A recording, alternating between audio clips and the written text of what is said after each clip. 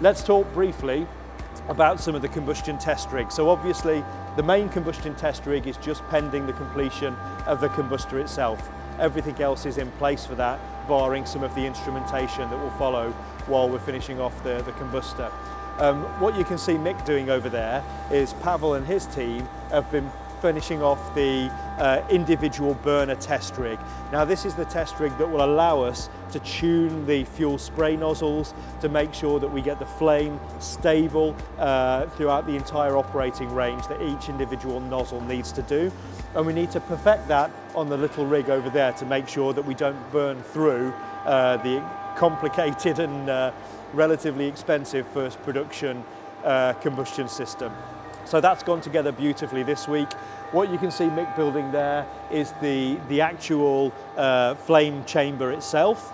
Uh, but we've also built the air manifold that controls the air inlet, the mass flow venturi meter, and then allows us to control, using an electronic control system, the air-fuel ratio to conduct that test. So we're pending one component now, we're just waiting for a, a fuel mass flow meter. That should be here on the 7th of February. So we're expecting on the week of the 7th of February to be able to complete that test. So really looking forward to getting that one done so we can get on to the big one and get the fire started in the whole of the engine. So really pleased with how that's come together.